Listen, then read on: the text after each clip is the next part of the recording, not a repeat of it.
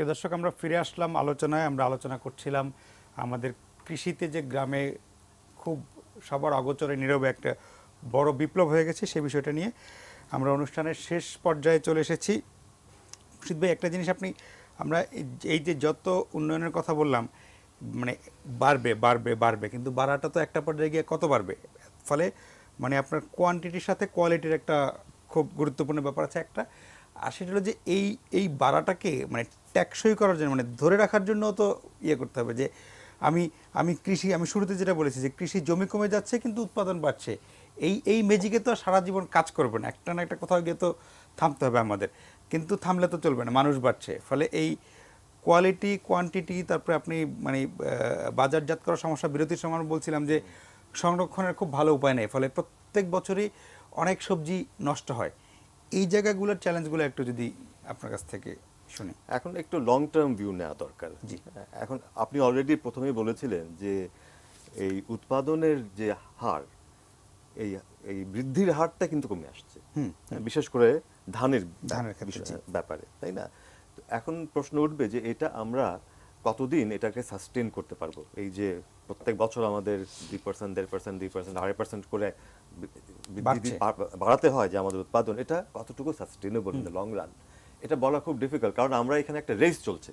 হ্যাঁ আমার একদিকে চাহিদা বাড়ছে জনসংখ্যা বাড়ছে অন্যদিকে প্রযুক্তি দিয়ে আমরা সেটাকে মোকাবেলা করার চেষ্টা করছি।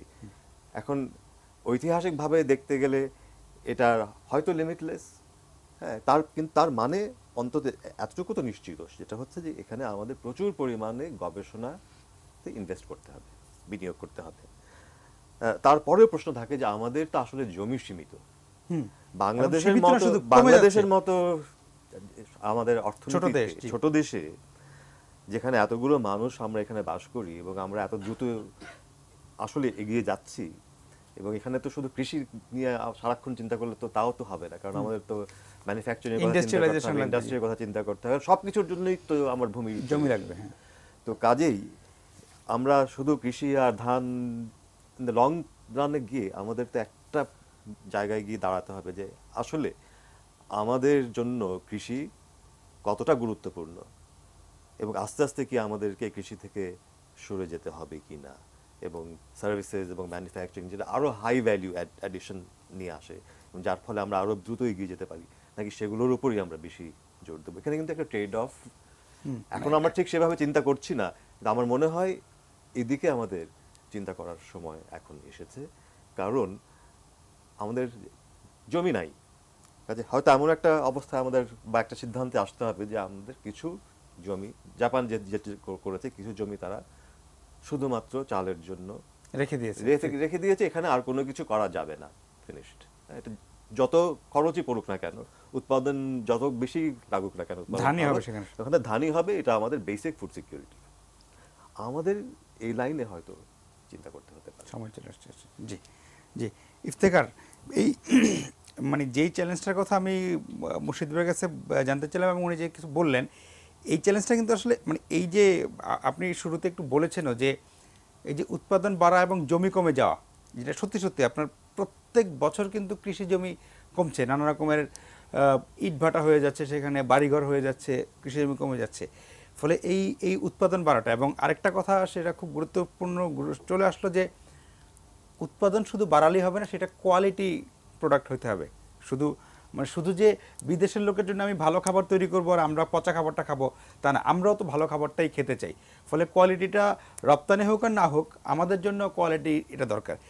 এই যে কোয়ালিটি কোয়ান্টিটির এবং এই যে জমি কমে যাওয়া এবং এই যে প্রবৃদ্ধির যে সাস্টেনেবিলিটি এটা ধরে রাখার জন্য কি করার দরকার? আচ্ছা আমার মনে হয় যে এইটা কি করা দরকার? এটা আমার ধারণা যে সরকারের যারা নীতি নির্ধারক, তারা খুব ভালো মতো জানেন। কারণ এই এই বিষয়ে নিয়ে একটা অগ্রগতিও আছে। আমরা যদি দেখি যে, যেটা বলছিলেন মুর্শিদ ভাই যে, আমাদের যে এলাকাটাতে ধান হয় জাপানে, সেটাতে ধানই হয়। আমাদের কিন্তু বিএআরসি যেটা বাংলাদেশ কৃষি গবেষণা কাউন্সিল, সেখান থেকে একটা এগ্রো ইকোলজিক্যাল জোনিং একটা ম্যাপ কিন্তু করা আছে। এবং কোন এলাকায় কি ধরনের ফসল হবে, কতটুকু ফসল হবে, ওইখানে সে, সবগুলো কিন্তু ডিটারমাইন করা আছে। কিন্তু প্রবলেম হচ্ছে যে ওইটা কিন্তু এখন পর্যন্ত কোনো ইমপ্লিমেন্টেশনে যায় নাই। সো আমার মনে হয় যে এই জিনিসটা যদি আমরা এইটা এটা এবং এইটা ইমপ্লিমেন্টেশনে যেতে হলে এটা একটা হিউজ ব্যাপার এবং এটা সরকারের সর্বোচ্চ জায়গা থেকে একটা খুবই কঠিন রাজনৈতিক সিদ্ধান্ত প্রয়োজন যে এটা সরকার করবে কিনা। যে ধরেন আপনার এমনও হতে পারে যে বাংলাদেশের নন ফুড এগ্রিকালচার যেটা, আমি যদি জুটের কথা বলি এক সময় আমরা যেমন চা আমাদের যেহেতু এখানে কনজামশন কম বাইরে এক্সপোর্ট বেশি, চা এটা হয়তো কটনের একটা হিউজ এক্সপানশন কিন্তু হইতে পারে বা এরকম আরও অনেক এক্সপানশন কিন্তু হইতে পারে যেগুলো ফুড না। সো আমার মনে হয় যে ওই জিনিসগুলোর ক্ষেত্রে যদি ধরেন এটা বাজার যখন এটাতে ঢুকে পড়বে দাম বেশি পাবে তখন এটার উৎপাদন বাড়বে ফলে ফুডের কমে আসবে। এই জিনিসটা তামাকের ক্ষেত্রে তামাকের ক্ষেত্রে হ্যাঁ, যেটা মাঝখানে হয়েছিল এখন চালের দাম বাড়াতে একটু ব্যালেন্স আসছে। তো আমার মনে হয় যে এটার জন্য যদি সরকারের তরফ থেকে যে এগ্রো ইকোলজিক্যাল জোনটা করা হয়েছে জোনিংটা করা হয়েছে, সেটা যদি পর্যায়ক্রমে হলেও যদি ইমপ্লিমেন্টেশন করে সরকার তাহলে সেটা সম্ভব। কিন্তু এটা যদি না করে, তাহলে কিন্তু একটা পর্যায়ে গিয়ে কিন্তু জিনিসটা একটা ক্রাইসিসটা জমতে জমতে জমতে একটা বড় আকার নেবে। এবং এটা আমরা মাথায় রাখতে হবে, আমাদের ষোলো কোটি মানুষ, আমাদের দেশটা ছোট, এবং আমাদের নানা সমস্যাও কিন্তু আছে। সো এই জিনিসগুলো মাথায় রেখে এই জিনিসটা যদি একটা বড় মাস্টার প্ল্যানের মধ্য দিয়ে যদি সরকার আগায় অ্যাডহক বেসিসে একটা হঠাৎ করে একটা মনে হলো আমরা করলাম ওইভাবে না করে যদি পুরো পরিকল্পিতভাবে আগাই তাহলে অবশ্যই এটা সম্ভব কারণ এটা বাংলাদেশ এর আগে একটা সম্ভব দেখিয়েছে করে দেখিয়েছে। জি, জি। তো এটা বাংলাদেশের পক্ষে সম্ভব এবং এটা খুবই ইমিডিয়েটলি করা উচিত। জি। আমি জাহাঙ্গীর ভাইয়ের কাছে যাওয়ার আগে আরেকবার একটু মুর্শিদ ভাইয়ের কাছে একটা জিনিস যে ইফতেখার যেটা বলল যে সরকারের নীতি সহায়তাটা খুবই গুরুত্বপূর্ণ ব্যাপার। সেক্ষেত্রে কি আপনার ধরেন এই এই গত কয়েক বছরের ইয়ে মানে আপনার কোনো পরামর্শ আছে কিনা আরও যে এই সরকারের নীতি সহায়তার ব্যাপারে? একটা হলো যে ঠিক আছে, টাকা, পয়সা রেমিটেন্স আসছে ইত্যাদি ইত্যাদি। কিন্তু সরকারের নীতিটাও কিন্তু খুবই গুরুত্বপূর্ণ একটা ব্যাপার। এক্ষেত্রে আপনার কোনো পরামর্শ আছে কিনা? আমি জাহাঙ্গীর ভাইয়ের কাছে যাব, ওনার কাছ থেকে জবাবটা নেওয়ার জন্য আপনার কাছ থেকে শুনে যাই। মৌলিক পরামর্শটা এটাই। আসলে আপনি মাস্টার প্ল্যানের কথা বলছেন, ঠিকই আছে।